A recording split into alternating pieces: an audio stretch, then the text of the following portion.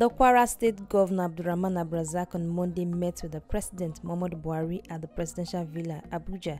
The governor alleged that immediate past administration in the state sold off 110 properties, including Deputy Governor's house. He also lamented that 75% of the state allocation from the Federation account is used for payment of salaries, thereby leaving the administration with little money to attend to other expenditure. Speaking to State House correspondents after the meeting, Abdulrazak said he spoke with the president on some developmental challenges inherited in the north central state and the step he had taken to gradually reposition it. Razak appealed to the president on the condition of federal roads in the state and called for the establishment of Federal College of Education. Gentlemen, I came here to see the president, um, wishing good tidings for the new year, and also with a shopping list uh, uh, because our state is in dire straits. Um, when we got in, there a total collapse in the state. It will start from education.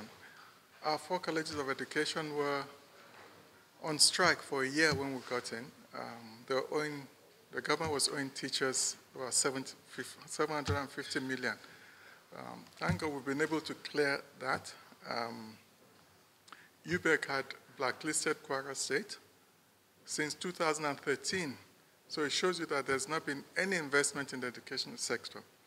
But um, we've been able to clear the liabilities.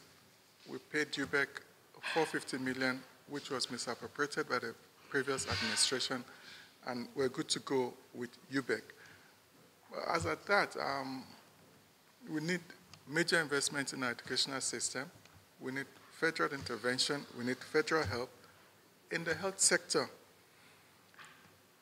uh, NGOs like uh, w, UNICEF had left Kwara, were lagging behind in everything. We had to pay close to a billion in counterpart funding, which the previous administration had not paid. Funding for iron, polio, uh, rollback malaria, AIDS. The government was not paying counterpart funding for any of the programs, but now we've cleared the backlog and um, we're on course with that. When we got in, there was no running water at all in any city in Kwara State, any town. Today, in the state capital, within two months, we had water running in the taps, um, and some other major towns too. It's an ongoing process, but the basic things like water, it's something that it's very important and dear to our programs, and we make sure we um, deliver water. Our civil service, we've been clearing backlog of debts um, in 2013-16, they were paying half salary, 60%. We've been able to clear all that and also should, trying to show the that um, there should be no malice. Government, government, government is a continuity. We have not removed anybody from work.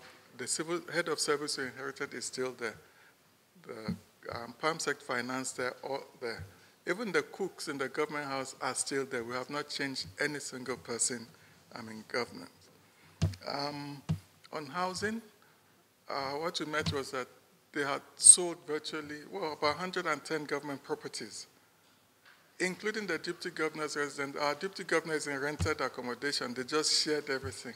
Our liaison office in Lagos has a skyscraper of the former governor built on it. So that's what they've done to the state, just basically sold everything. Now, I've explained all this to the Mr. President, and I've told him that we want to concentrate on agriculture because money coming from Abuja for our local governments goes in paying 100% of salaries. Money coming from Abuja to the state government, 75% of it goes into paying salaries. So therefore, we have to develop alternate means of generating revenue.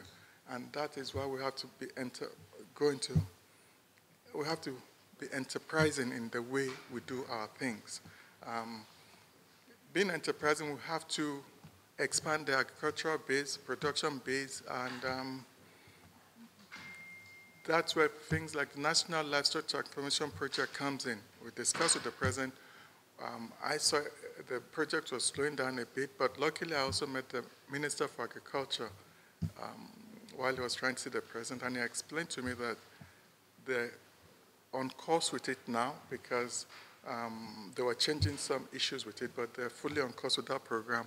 Kwara is fully going to be engaged with that program, and we're going to take advantage of the fact that the federal government has stopped allocation of um, foreign exchange for dairy products. So it's a win-win for us, and we want to also reduce farmer um, herdsmen clash by making sure we give them grazing land in Kwara, which is productive into ranches and for dairy production.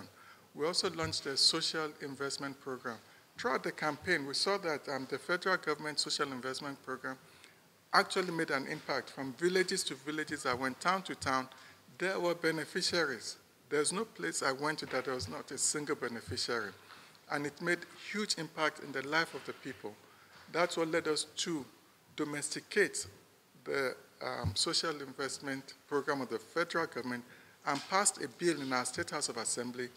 And by the end of this month, our social investment scheme will be up and running. Um, conditional cash transfer, uh, you'll be surprised that Kwara is only one of the two or three states that have not commenced the school feeding program.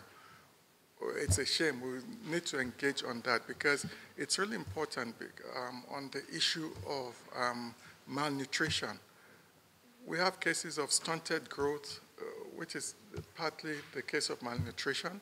Um, if you are malnourished, you're not going to learn anything. I visited schools, and when you get to the schools, half of the students are in the farms, either uh, basically helping their parents. But if you start the school feeding programs, and why are they on the farms? They're on the farms because the parents need more hands on the farms to um, plant. But all these are programs we're facing. School feeding programs coming on board soon. Um, money market, TraderMoni will happen in Kwara State, and the conditional cash transfer to um, elderly people. We also spoke about trying to get a College of Education, Federal College of Education in Kwara State. Um, we don't have one, so we're looking forward to that.